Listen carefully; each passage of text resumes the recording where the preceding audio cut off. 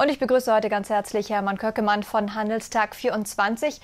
Herr Köckemann, wieder rote Vorzeichen heute beim DAX. Es scheint nicht so richtig äh, raufzugehen. Die Stimmung ist doch weiterhin verhalten. Wie lange wird das jetzt noch anhalten? Was denken Sie? Ja, guten Morgen, Frau Oldersdorf. In der Tat ist der DAX heute Morgen ordentlich unter Druck geraten und dementsprechend gibt es auch natürlich äh, charttechnische Ziele nach unten.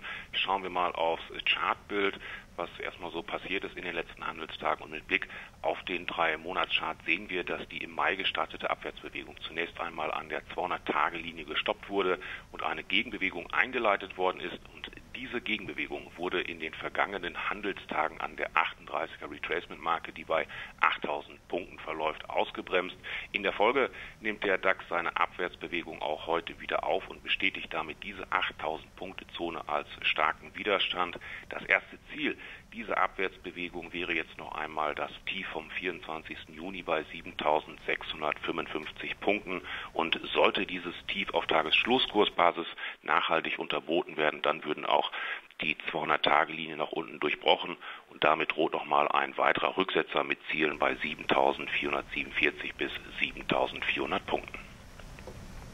Wie geht es äh, ansonsten weiter mit dem DAX? Können Sie so ein bisschen weiter vorausschauen?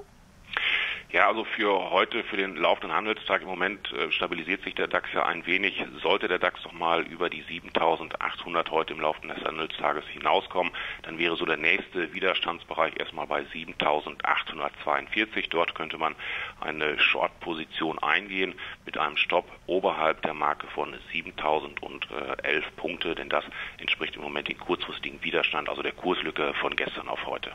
Hermann Köckemann von Handelstag 24. Danke für Ihre Analyse. Sehr gerne. Ja, und wir haben natürlich auch ein Produkt für Sie, was zu dieser Einschätzung passt. Da schauen wir uns jetzt gleich mal an. Und zwar ist es ein Put-Sprinter auf den DAX mit der WKN VT9 AUJ. Der Basispreis liegt bei 8.502 Punkten. Da liegt auch die Knockout-Schwellehebel 10,486, Laufzeit Open End und der Emittent ist von Tobel. Ja, das war's vom DAX-Check heute mit Hermann Köckemann von Handelstag 24.